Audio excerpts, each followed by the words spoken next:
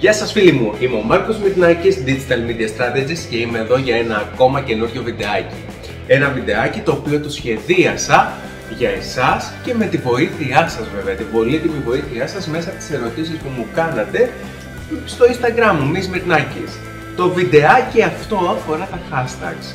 Πώς να τα χρησιμοποιήσουμε έτσι, γιατί να τα χρησιμοποιήσουμε, όλα αυτά είναι ερωτήματα που μου κάνατε εσείς. Τα ομαδοποίησα και έχω τις σημειώσεις μου σκονάκι, όπως θέλετε πάρτε το και είμαι εδώ για να σας απαντήσω με ένα σύντομο βιντεάκι.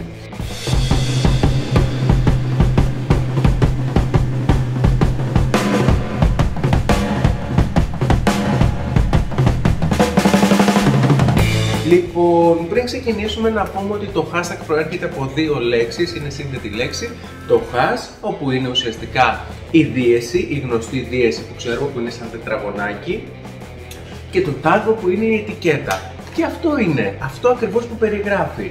Για να φτιάξουμε ένα hashtag χρησιμοποιούμε την δίεση και φυσικά ε, κολλάμε πάνω στη δίεση τη λέξη, τη φράση, χωρίς και ένα πάντα, όπου θέλουμε να δημιουργήσουμε το hashtag.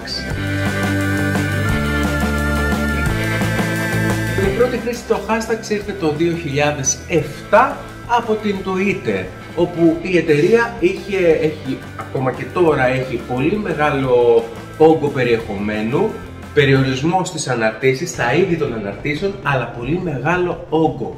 Και η πληροφορία εκεί μεταδίδεται πάρα μα πάρα πολύ γρήγορα. Είναι το social το οποίο μεταδίδεται πιο γρήγορα η πληροφορία από οποιοδήποτε άλλο social. Λοιπόν, άρα δημιουργήθηκαν τα hashtag έτσι ώστε να ομαδοποιήσουν τις αναρτήσεις και να μπορεί κάποιος ο οποίος ψάχνει κάτι συγκεκριμένο στο Twitter να μπορεί να το βρει. Πετυχημένη κίνηση, έξυπνη κίνηση, γιατί δεν είναι όπως το Facebook, το Twitter, όπου έχει διαφορετικές αναρτήσεις και μπορούμε να τις ξεχωρίσουμε ή να τις διακρίνουμε πιο εύκολα.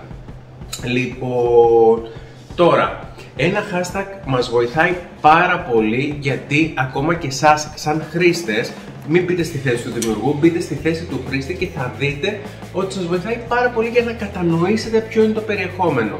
Και τι εννοώ, βλέπουμε μία ανάρτηση στο Twitter όπου έχει hashtag τεχνολογία. Αμέσως έχω καταλάβει αν με ενδιαφέρει ή όχι. Με το που δω τεχνολογία είναι θέμα που με ενδιαφέρει. Θα κάτσω και θα δώσω προσοχή να δω τι ακριβώς αναφέρει. Δεν με ενδιαφέρει η τεχνολογία, τότε απλά προχωράω στην επόμενη ανάρτηση.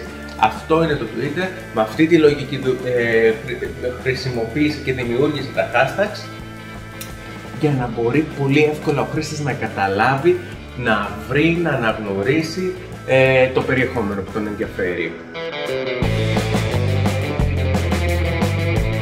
Δημιουργώντας ένα hashtag, αυτό μετατρέπεται αυτομάτως σε σύνδεσμο. Πατώ λοιπόν πάνω εκεί και με μεταφέρει στη σελίδα, ας το πω εισαγωγικά, στη σελίδα του hashtag όπου εκεί θα δω κάθε είδους περιεχόμενο το οποίο αφορά αυτό που έχω πατήσει να δω, αυτό που έχω ζητήσει να δω. Hashtag για παράδειγμα τεχνολογία που χρησιμοποίησα και πριν. Ε, θα δω περιεχόμενο μέσα εκεί από άτομα τα οποία ακολουθώ, αλλά και που δεν ακολουθώ, αρκεί το απόρριτό τους να είναι δημόσιο. Αν έχω ιδιωτικό λογαριασμό και μπω στη διαδικασία να χρησιμοποιήσω hashtag είναι άδικος κόπος, δεν θα το δει κανείς. Τα βασικά σας τα είπα. Πάμε τώρα να δούμε λίγο τις ερωτήσεις που μου κάνατε. Ε, η κύρια ερώτησή σας, έτσι, τις ομαδοποίησα και βγήκαν δύο βασικές ερωτήσεις. Βασικές και που πολύ θέλετε να μάθετε ε, πιο συγκεκριμένα πράγματα. Λοιπόν, η κύρια ερώτησή σας ήταν πώς επιλέγω hashtag είναι πάρα πολύ εύκολο να βρω ε, hashtags, το δύσκολο είναι ποια να επιλέξω να χρησιμοποιήσω. Πάμε οπότε να δούμε πώς επιλέγω hashtag. Μπορώ να επιλέξω φυσικά τυχαία. Να γράψω κάποια hashtag τα οποία έχω, έχω δει, ε, σκέφτομαι, ξέρω ότι είναι δυνατά ή το οτιδήποτε. Μπορώ να επιλέξω μέσα από εφαρμογή. Υπάρχουν εφαρμογές για κάθε είδους τηλέφωνο, έτσι, είτε είναι iOS είτε είναι Android, όπου μπορώ να περάσω μια φωτογραφία, τη σκανάρει και μου βγάζει τα προτινόμενα hashtag. Και απλά εγώ κάνω αντιγραφή, επικόλληση. Ε, και φυσικά μπορώ να ακολουθήσω δημιουργούς και να δω τι hashtag χρησιμοποιούν, δημιουργούς οι οποίοι έχουν το ίδιο περιεχόμενο με εμάς, έτσι, να δω τι hashtag χρησιμοποιούν και να πάρω από εκεί κάποια hashtag. Αυτό που εγώ σας προτείνω είναι να βάζετε το χέρι στην καρδιά, να βλέπετε το περιεχόμενό σας και να πείτε ότι να βρείτε εσείς τουλάχιστον 5 με 10 hashtag τα οποία εσάς σας, σας προκαλεί αυτό που έχετε δημιουργήσει, είτε είναι εικόνα, είτε είναι βίντεο, είτε είναι κείμενο. Να βρείτε βασικά και σχετικά hashtag. Αυτό είναι, αυτός είναι ο πιο σωστός ε, τρόπος. Τώρα, ένας δεύτερος άξονας που θα με βοηθήσει να επιλέξω τα σωστά είναι να είναι όσο το δυνατόν πιο σχετικά με το περιεχόμενο και όχι γενικά. Δηλαδή, ε, το να βάλω ένα hashtag το οποίο είναι καλοκαίρι, ε, ξέρω εγώ, στα νησιά, δεν θα βάλω σκέρο το καλοκαίρι, να βάλω καλοκαίρι στα νησιά hashtag. Έτσι, είναι πιο συγκεκριμένο. Και αυτό θα με βοηθήσει ειδικά αν έχω έναν μικρό λογαριασμό, ένα μικρό account. Θα σας εξηγήσω, αν δεν έχετε δει ήδη ένα βιντεάκι που έχω ανεβάσει με το τι να κάνω και τι να μην κάνω στο Instagram, μπορείτε να το δείτε μετά από αυτό το βίντεο, θα σας βοηθήσει πάρα πολύ. Αφορά το Instagram, αλλά λέει πάρα πολλά πραγματάκια και λέει και για τα hashtags τα οποία έχουν αρκετή δυναμική στο Instagram σαν εφαρμογή. Λοιπόν, άρα είναι πάρα πολύ σημαντικό, εν ολίγης και εντάχει να σας το πω, ε, είναι πάρα πολύ σημαντικό να επιλέγω όταν έχω έναν αδύναμο λογαριασμό, αδύναμα hashtag. Όταν έχω ένα δυνατό λογαριασμό, δυνατά hashtag. Έτσι, τα δυνατά hashtag φέρνουν πολλές προβολές, αλλά αν έχω έναν αδύναμο λογαριασμό, τότε δεν θα με δει κανείς.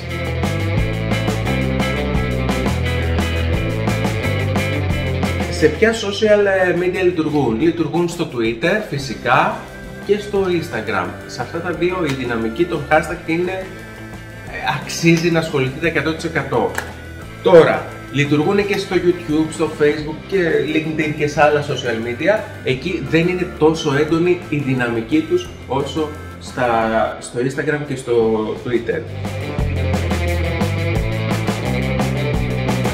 Πώς μπορεί να βοηθήσει μια επιχείρηση. Μια επιχείρηση μπορεί να τη βοηθήσει με πάρα πολλούς τρόπους. Ο κύριος τρόπος είναι ότι σας φέρνει προβολές. Σας φέρνει, αν θυμάστε στην αρχή του βίντεο, σας είπα ότι τα βλέπουν τα hashtag και άτομα τα οποία δεν μας ακολουθούν ή εμείς βλέπουμε αναρτήσεις σε άτομα που δεν ακολουθούμε γιατί απλά βλέπουμε τα hashtag.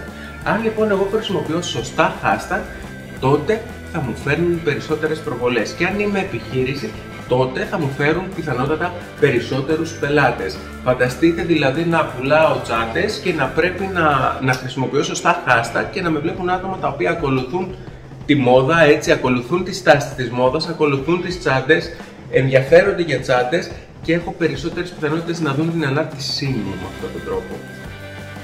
Και φυσικά τα hashtag μπορούν να βοηθήσουν πάρα πολύ ακόμα και εταιρείες. Για ακούστε αυτό, είναι, θέλει προσοχή. Μπορούν να βοηθήσουν ακόμα και εταιρείες οι οποίες δεν έχουν ιστοσελίδες. Ναι, μπορούν. Γιατί για φανταστείτε να έχετε ένα ωραίο Instagram, να έχετε ένα ανθοπολείο και να έχετε τα φυτά σας ε, και δεν έχετε μια σελίδα να τα αναδείξετε, ωστόσο έχετε ένα Instagram το οποίο μπορείτε να κάνετε αναρτήσεις και με βάση τα hashtag που χρησιμοποιείτε να δημιουργήσετε δικά σας hashtag εταιρικά, ας πούμε δηλαδή τον τοπολείο ότι λέγεται Μάρκος Μυρνάκης και έχω φυτά εσωτερικού και φυτά εσωτερικού χώρου. Λοιπόν, το Μάρκος Μυρνάκης το αλλάζω, το κάνω MS. Λοιπόν, για συντομογραφία. Λοιπόν, οπότε φτιάχνω ένα hashtag MS φυτά εξωτερικού, MS φυτά εσωτερικού. Και ό,τι ανεβάσω, ό,τι φωτογραφία ανεβάσω, χρησιμοποιώ το αντίστοιχο hashtag.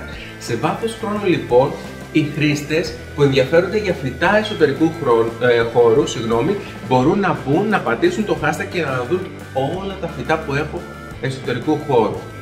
Εντυπωσιακό, πάρα πολύ. Και δεν έχετε καν σελίδα. Απλά πατούν στο hashtag το δικό σας και βλέπουν τα δικά σας φυτά και φυσικά πέρα το ότι μπορούν να το κάνουν από μόνοι, από μόνοι τους, μπορείτε εσείς να εξυπηρετήσετε πιο σωστά μέσα από τα social, γιατί θα σας ζητήσουν ένα φυτό εσωτερικού χώρου.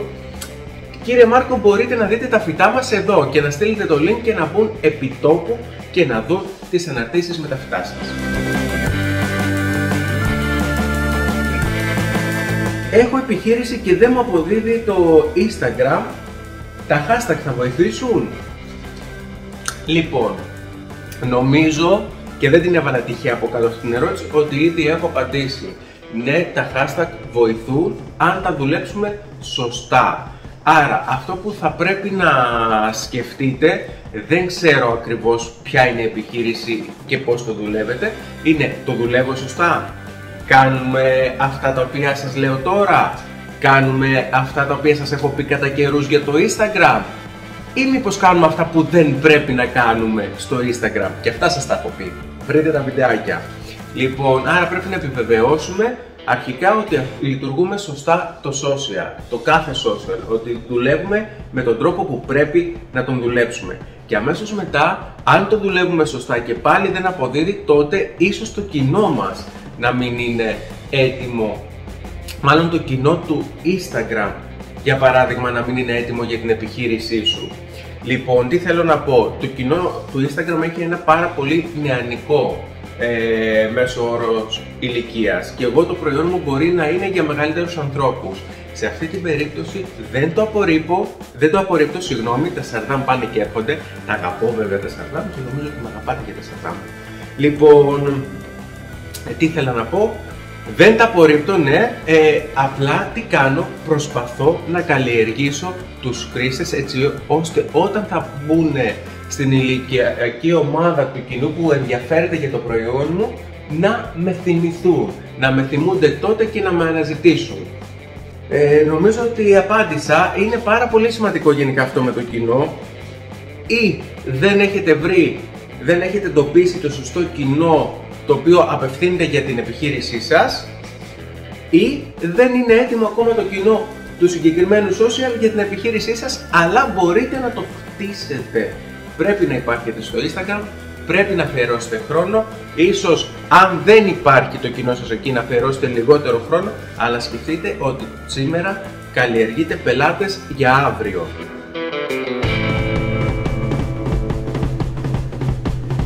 Πόσο απαραίτητη ή σημαντική είναι η χρήση τους; Ε, πόσο σωστά ή όχι τα δουλεύουμε. Αν τα δουλεύουμε σωστά είναι απαραίτητη. Όλοι χρειαζόμαστε, ειδικά όταν μιλάμε για επιχείρηση, χρειαζόμαστε προβολές. Και αυτά μας φέρνουν προβολές. Αυτά μας φέρνουν νέους χρήστες. Αυτά μας βοηθούν να οργανώσουμε το περιεχόμενό μας στο Instagram ή στο, στο Twitter με τον τρόπο που σας είπα πριν, μπορούμε να κατηγοριοποιήσουμε τα προϊόντα μας ή τις υπηρεσίες μας ανάλογα με τα hashtag τα δικά μας που θα φτιάξουμε. Αυτά δεν θα μας φέρουν προβολές, αλλά θα μας βοηθήσουν είτε να εξυπηρετήσουμε καλύτερα, είτε να κατηγοριοποιήσουμε τα προϊόντα μας έτσι και να χρησιμοποιούμε γενικά hashtag, όχι τα δικά μας δηλαδή, έτσι ώστε να μπορούμε να παίρνουμε επιπλέον προβολές και νέους χρήστες, νέους πελάτες πιθανότατα.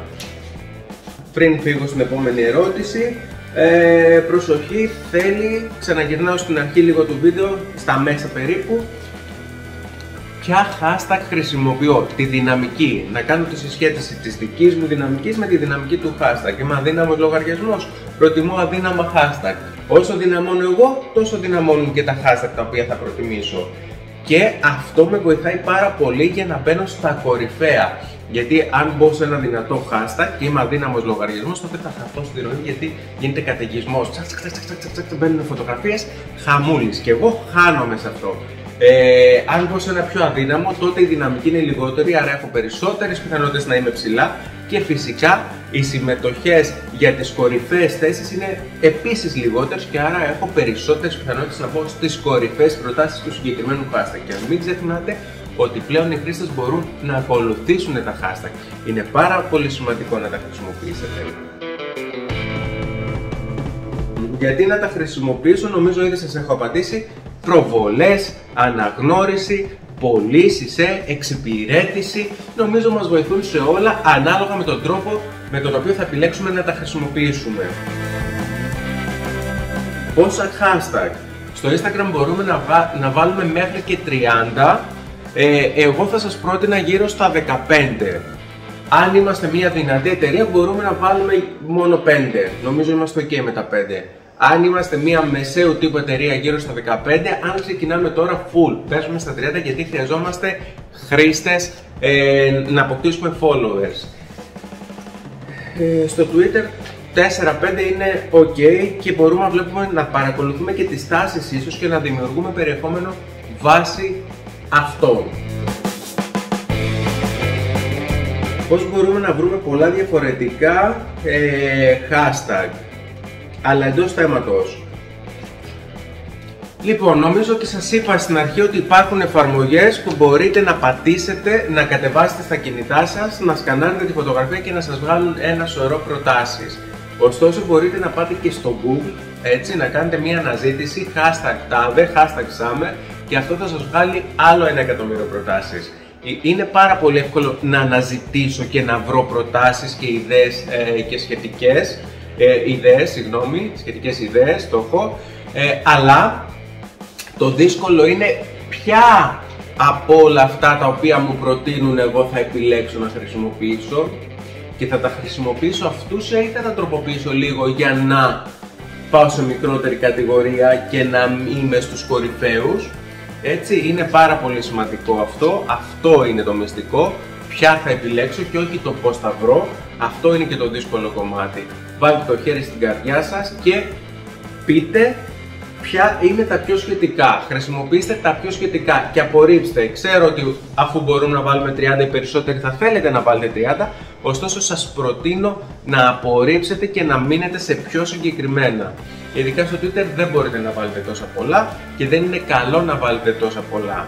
Σκεφτείτε το, έτσι τώρα που μου έρχεται στο μυαλό, στο Twitter θα βάζω 5 βασικά γιατί πρέπει να δείξω στο χρήστη τι αφορά η ανάρτησή μου και πρέπει να μπει η ανάρτησή μου σε κάποιες κατηγορίες σχετικές με το αντικείμενο που έχω αναρτήσει, με το περιεχόμενο και σκεφτείτε το στο άρα πάει βάση περιεχομένου και σκεφτείτε στο Instagram ότι είναι φάση inspiration.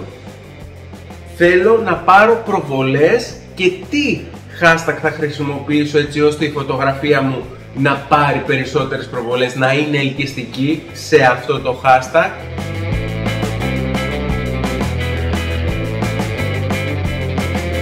Αυτά είχα να σας πω. Σας ευχαριστώ που παρακολουθήσατε άλλο ένα βιντεάκι μου. Μπορείτε να χαζέψετε το κανάλι μου να βρείτε κι άλλου, κι άλλου είδους τέτοια βιντεάκια.